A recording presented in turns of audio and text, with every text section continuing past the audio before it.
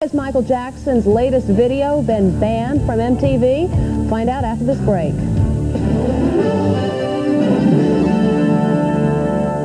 Finally, earlier this year, Inside Edition was invited onto the set where Michael Jackson was filming his controversial new video.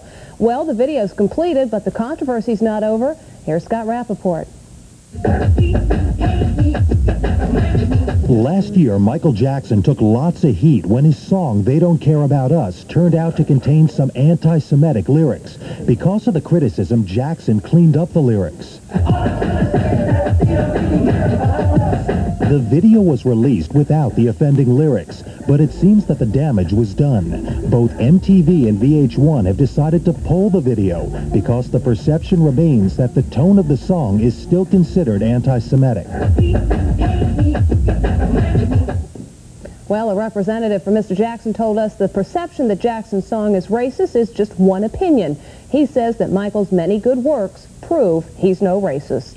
And that's Inside Edition for today. I'm Deborah Norville. Thank you for joining us.